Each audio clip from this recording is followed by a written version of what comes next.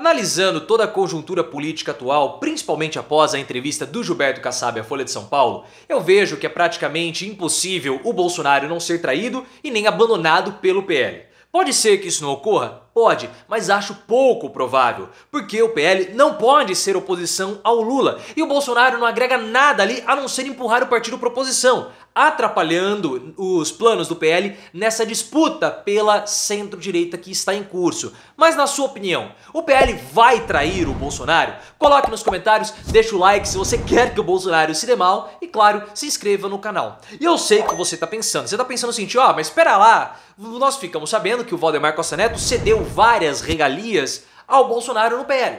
O Valdemar Costa Neto vai dar uma mansão para o Bolsonaro morar com o dinheiro do PL, vai dar também ao Bolsonaro um escritório em Brasília e vai arcar com todos os custos jurídicos que Bolsonaro poderá ter. E ele vai ter muitos, porque vocês sabem que os processos dele vão todos para a justiça comum e ele vai ter que gastar uma grana como advogado. E o Bolsonaro está chantageando a população brasileira, as instituições, justamente por conta desse medo dele de ser preso.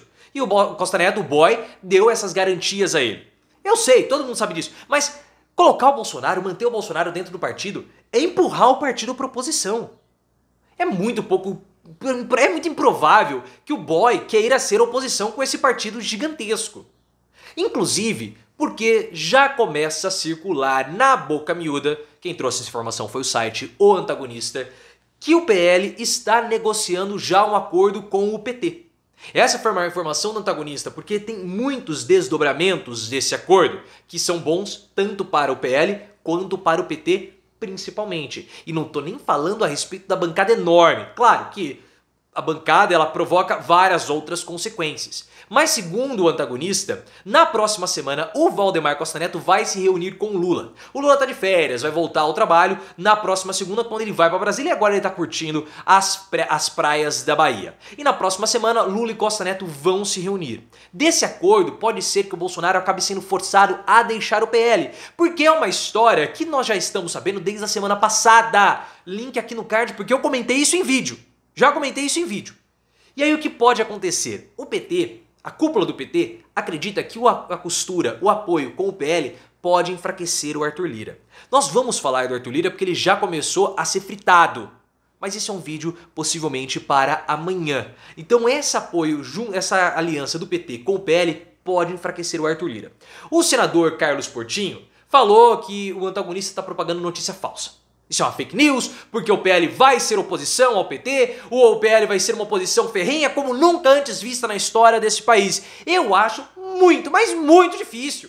Porque você ser oposição é você jogar uma bancada de 100 parlamentares no lixo. Isso não vai acontecer. Fora que existem quadros dentro do PL, principalmente no PL do Nordeste, que são ligados ao Lula. Então o partido vai rachar e mais ainda. O PL está numa disputa pelo controle da centro-direita. Vocês não estão vendo isso em nenhum lugar, só aqui no canal. Por quê? Porque a gente sabe ler as entrevistas políticas e a gente sabe analisar o contexto político. O Gilberto Kassab posicionou o PSD já com o partido centro-direita, porque não existe ninguém ocupando esse espaço. E não somente o Gilberto Kassab quer esse espaço. O União Brasil do Luciano Bivar também quer. Tanto que o Luciano Bivar falou que o União Brasil não vai ser oposição ao Lula. O PP do Ciro Nogueira e do Arthur Lira também. O Republicanos do Tarcísio também. E o PL também. Só que para você ser oposição, só que para você ocupar esse espaço da centro-direita, você não pode ser oposição ao governo Lula. Porque todo mundo que for oposição ao governo Lula tende a ir para a extrema direita e mais ainda, não vai ter a estrutura do governo para poder criar essa identidade. E essa não é uma identidade para ser criada para 2026. Não, é para ser criada para as próximas disputas por conta da cláusula de barreira. Aquele partido que não estiver ou desses grupos que não estiver identificado com a centro-direita, ele vai sumir por conta das cláusulas de barreira. Há uma disputa por uma vaga em vários partidos.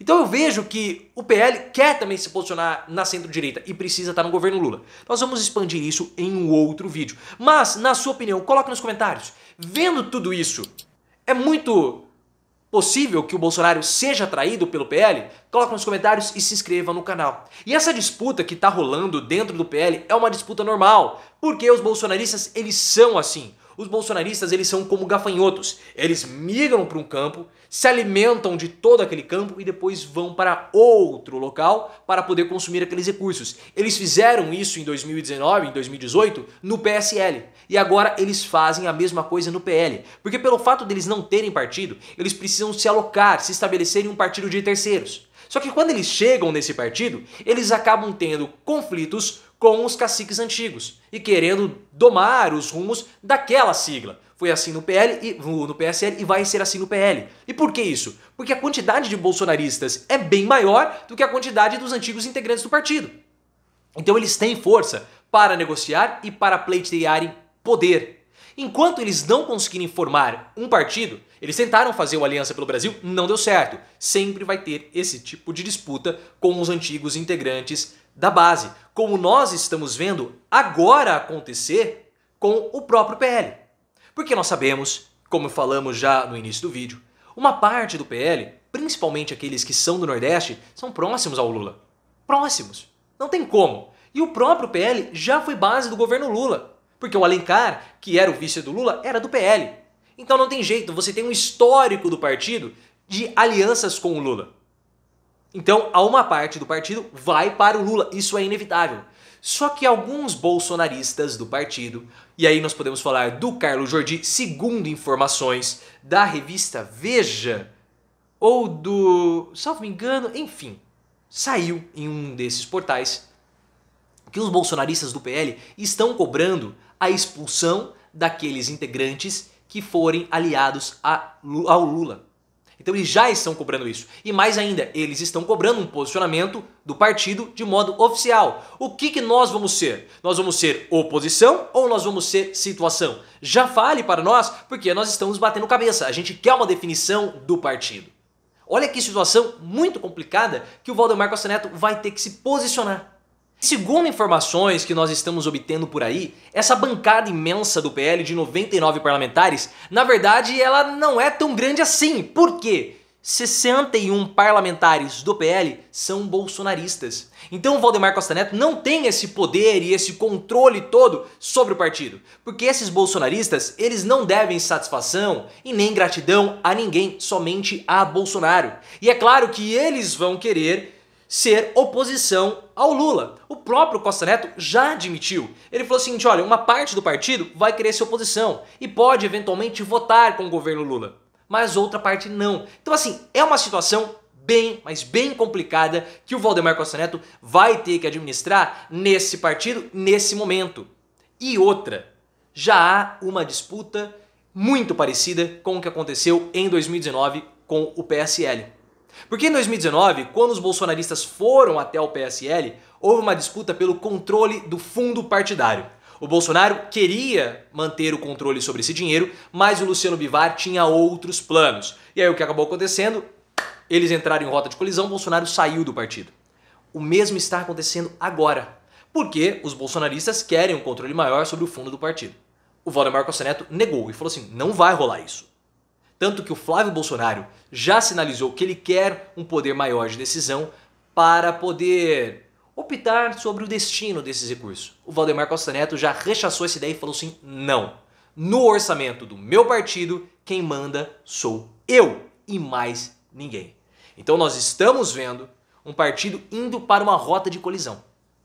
E é muito possível que o Valdemar Costa Neto não fique abraçado com esses bolsonaristas. É muito possível que o Valdemar Costa Neto dê um pé na bunda do Bolsonaro, fique como base do Lula fazendo uma, talvez uma oposição crítica, ou até mesmo esses bolsonaristas podem migrar para outro partido, podem migrar para o PTB, do Roberto Jefferson. Eu não sei por que eles não foram para lá desde o início, porque também lidar com o Roberto Jefferson deve ser uma coisa bem complicada. Mas o futuro do Bolsonaro não passa pelo PL. Não faz sentido manter Bolsonaro, empurrar o partido para oposição e ver outros partidos mais estruturados, não em termos de número de bancada, mas sim organizados em termos de ideologia, podemos colocar assim, tomando essa posição da centro-direita que é o que está em disputa. Vamos ver o que vai acontecer, mas a minha aposta é uma traição do PL com o Bolsonaro. E na opinião de vocês, coloque nos comentários.